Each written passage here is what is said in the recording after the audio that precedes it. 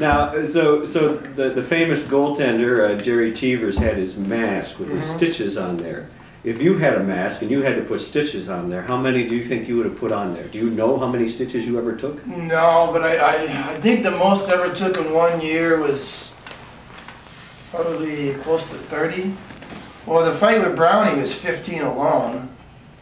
Um, and then then I was then I had uh, Jackson just a few days later. Mm-hmm. That was I, I think I So you knocked him down. yeah, but he but he hit pretty hard. He still cut me open. Yeah, he, he cut me open in the forehead here if I remember correctly.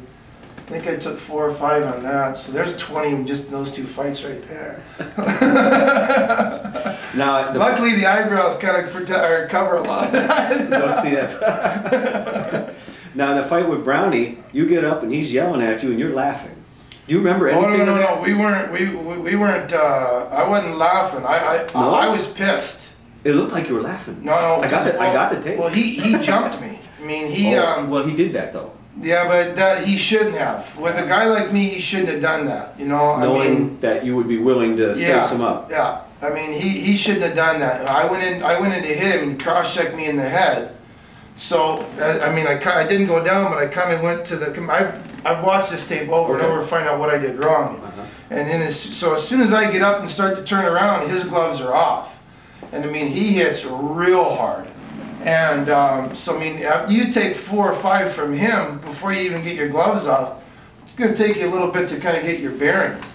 You know, and so I'm scrambling, and, and, I, and I do start to get my bearings, but, you know, then I get dinged with another one. And, you know, it was just, by that time, the ref said, hey, listen, I think this guy's had enough. Me, if it was me, I would say, just wait till I fall down, because I want to try and get back into this. Right. So when I got close to him, I told him, I says, that, that's wrong. You and me, next time you and me play, we're going again. Okay, no problem, you know. So, but you never did though, did you? You did you Actually, I don't even know if we ever even played against each other. Well, I mean, there you were on a Western team, and he's in Philly. Yeah, but he came out and played in Edmonton, Edmonton? Okay. and uh, when he came out there, it was it was uh, right after uh, I got beat up by uh, um, um, Crowder, and they brought Gino Odjick up, and Gino fought him two times in the same game, and I never see never saw another uh, another game for the uh, Canucks.